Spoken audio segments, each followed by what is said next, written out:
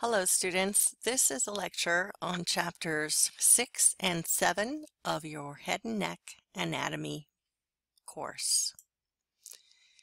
The external nose is composed of the bridge, the dorsum, the ala, the nostrils, and the columella nasi. The bridge of the nose is a surface that is formed by the nasal bones, and the dorsum of the nose is the external midline surface of the nose. The ala are the parts of the nose that you can flare out.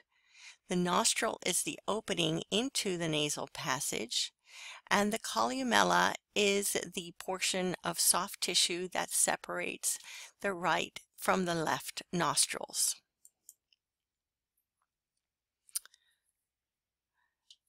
The nose is formed by the maxillary bone and the nasal bone.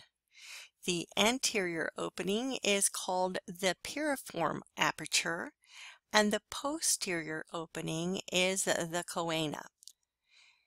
The nose is surrounded by or in contact with the cranial cavity, the orbit, the maxillary sinus, the oral cavity, and the nasopharynx. The roof of the nasal cavity is made up of the cribriform plate of the ethmoid bone and the floor is made up by the hard palate. The lateral wall of the nasal cavity contains the superior, middle, and inferior choana and the medial pterygoid plate of the sphenoid bone. The structures that form the nasal septum are the perpendicular plate of the ethmoid bone, the vomer, and the septal or nasal cartilage. The nasal meatus is a passageway through the nose.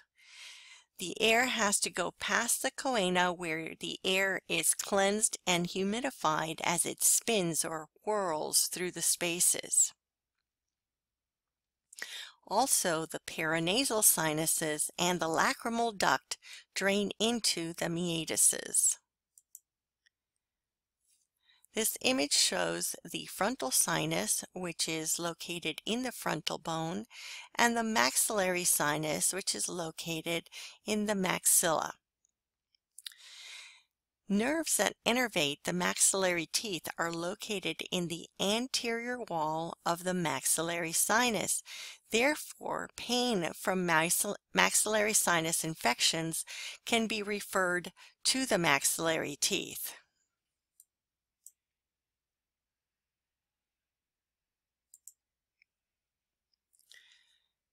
The space above the superior concha is the recess into which the sphenoid sinus empties. The middle nasal meatus is where the emptying occurs for the frontal sinus, the anterior and middle ethmoidal sinus, and the maxillary sinus. The nasolacrimal duct empties into the inferior nasal meatus.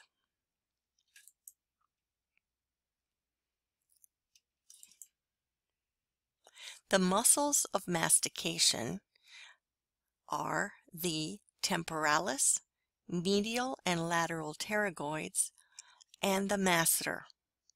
They are all innervated by the mandibular nerve. These are the major muscles of mastication. The temporal fossa contains the temporalis muscle. The infratemporal fossa contains the medial and lateral pterygoid muscles and the temporomandibular joint.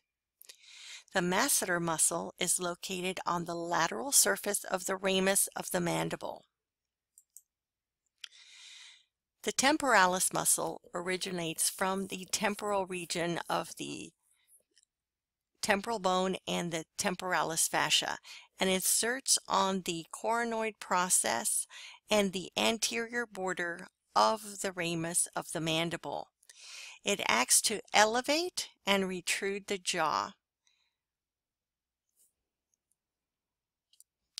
If you observe the direction of the muscle bands in the temporal muscle, you can see that some bands run anterior-posteriorly and some run superiorly. The posterior diagonal bands of the muscle retrudes the mandible and pulls it backward. The vertical bands of muscle elevate the mandible and close it. The masseter muscle originates from the zygomatic arch. It has a superficial head, which contains diagonal fibers, and a deep head, which has vertical fibers. The vertical fibers retrude the jaw, while the deep head are powerful elevators of the mandible, which close the jaw. The masseter muscle inserts on the mandible.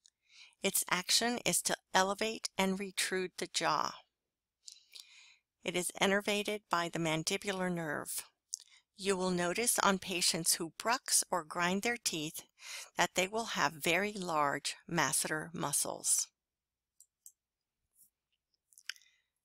The lateral pterygoid muscle consists of a superior and inferior head. The superior head originates from the sphenoid bone and the inferior head originates on the lateral surface of the lateral pterygoid plate. It inserts on the capsule and disc of the temporomandibular joint. Its action is to depress and protrude the jaw. The lateral pterygoid muscle is the only muscle of mastication that opens the jaw. It is also innervated by the mandibular nerve. The medial pterygoid muscle is made up of a superficial and a deep head. The superficial head originates from the maxillary tuberosity and the deep head originates from the medial surface of the lateral pterygoid plate. It inserts on the ramus of the mandible. It, its action is to elevate and protrude the jaw. In this posterior view of the skull, you can see that the origin of both pterygoid muscles is from the lateral pterygoid plate.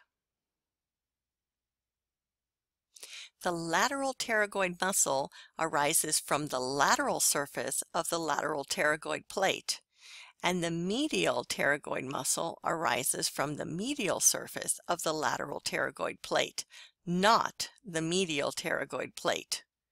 The muscles were named for their origins from the surfaces of the lateral pterygoid plate. There are secondary or accessory muscles of mastication that assist in chewing. Most of them are not innervated by the mandibular nerve. These include the buccinator, the digastric, the mylohyoid, and the geniohyoid. The buccinator muscle is a muscle of facial expression, and it helps to keep the food in the oral cavity while chewing. The digastric muscles are actually muscles of the neck, and they assist in depression of the jaw. The buccinator muscle is innervated by the facial nerve or cranial nerve 7. The anterior belly of the digastric is innervated by the mandibular nerve, while the posterior belly is innervated by the facial nerve. The mylohyoid and geniohyoid muscles are bo both muscles of the floor of the mouth. The mylohyoid depresses the mandible and is innervated by the mandibular nerve. The geniohyoid also depresses the mandible, but is innervated by spinal nerve C1 of the cervical plexus. This image shows the buccinator muscle in relation to the masseter and temporalis muscle, as well as the parotid gland and Stenson's duct.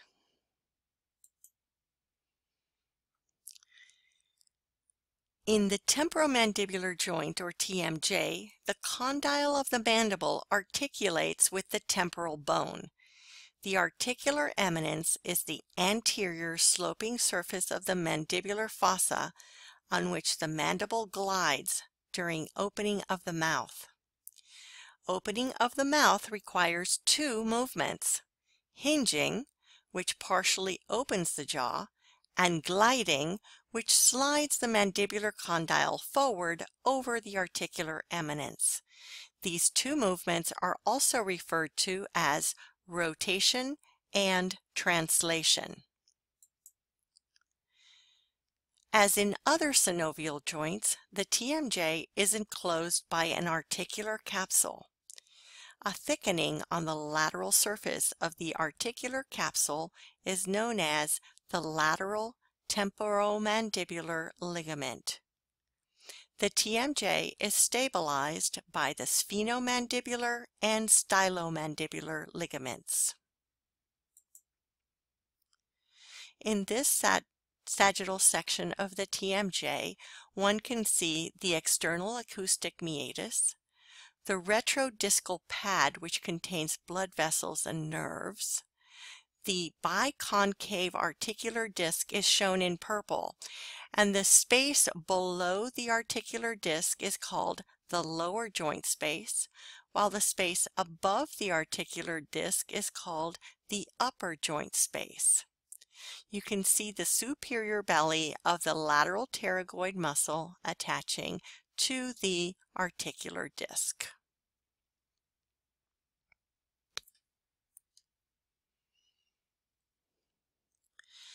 The muscles have varying orientation to their fibers that allows for retrusion of the jaw and closing of the jaw.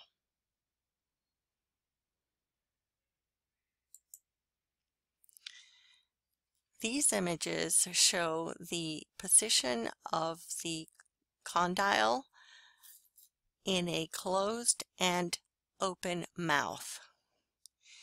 When the mouth is closed, the condyle is located in the fossa. When the mouth is open, the condyle and disc are pulled onto the surface of the articular eminence. Note that the articular disc is thick anteriorly and posteriorly.